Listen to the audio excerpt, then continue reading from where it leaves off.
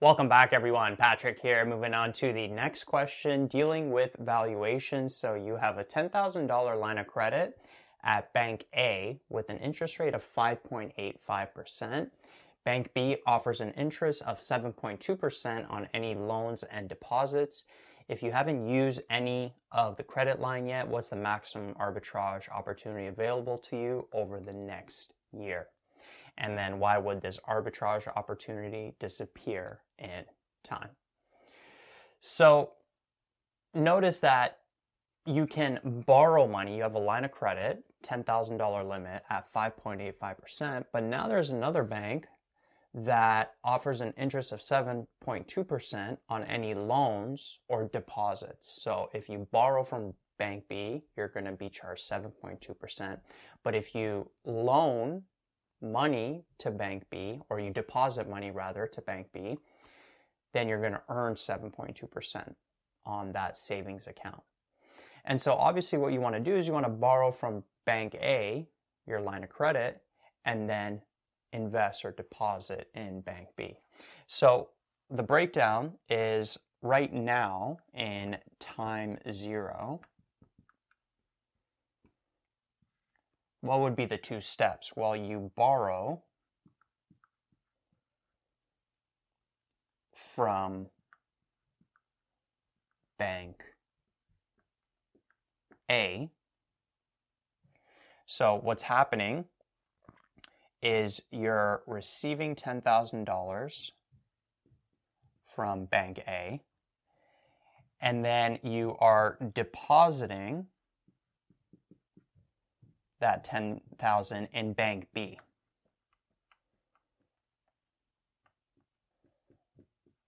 So you're investing in bank B. So that's a negative cash flow. So you're receiving 10,000 and then you're depositing 10,000. So you receive the 10,000, which is a positive cash flow, and then you get rid of it, which is a negative cash flow. And so what's the net over here? Notice the net transaction is zero dollars. Both of these are going to just net out to zero. And then what's going to happen is in one year, since you borrowed from Bank A, you're going to have to repay them.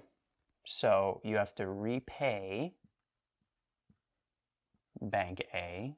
And more specifically, what are you going to have to repay them? You're going to have to repay them the $10,000, the principal, plus the interest. And so you're borrowing at an interest rate of 5.85%. 5.85% of 10,000 is $585, right? 0.0585 times 10,000 gives you 585. So you're repaying the 10,000 plus the interest of 585. So you would repay Bank A, so this would now be a negative cash flow of $10,585 like that. Right? So notice how it's the opposite signs basically. Here you receive the 10,000, but now you have to pay back the 10,585. Versus here, you deposited 10,000 in bank B, but now you're going to receive from bank B the principal, the 10,000 that you invested plus the interest of 7.2 7.2% of 10,000 is what? 720. 0.072 times 10,000 is 720. So you would receive the 10,000 plus the 720. So you'd receive 10,720 in total.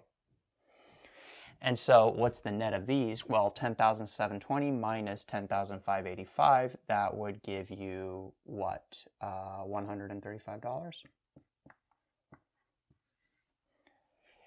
And so this here represents an arbitrage opportunity because what happened is whenever you're spending zero dollars and then receiving money, it's like a risk-free transaction. That's an arbitrage opportunity. Usually doesn't exist in the market. Something like this wouldn't exist, especially between big banks. But if something like this does exist in certain transactions, then it disappears quickly in time. And that's actually the second question. Why would this uh, arbitrage opportunity disappear in time? Well, what would happen is Bank A, so their interest rate is 5.85%, and then Bank B, their interest rate is 7.2%. So what would happen is there would be Bank A would notice there's a lot of people borrowing money from them. Everyone would start doing this because it's a risk free transaction. So Bank A would notice hey, we're getting a lot of people borrowing our funds, a lot of demand there.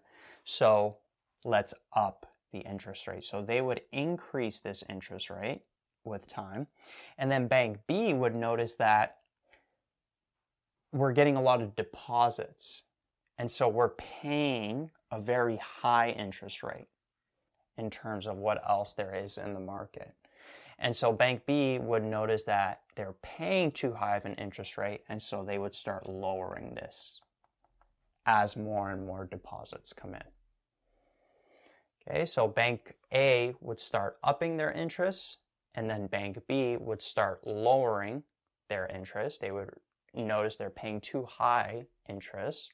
And so with time, these would meet somewhere between, somewhere in the middle, between 5.85 and 7.2.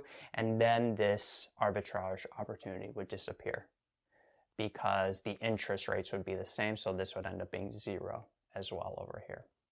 Right? But at the moment, at the present interest rates, there is an arbitrage opportunity. You can borrow from bank A and then deposit in bank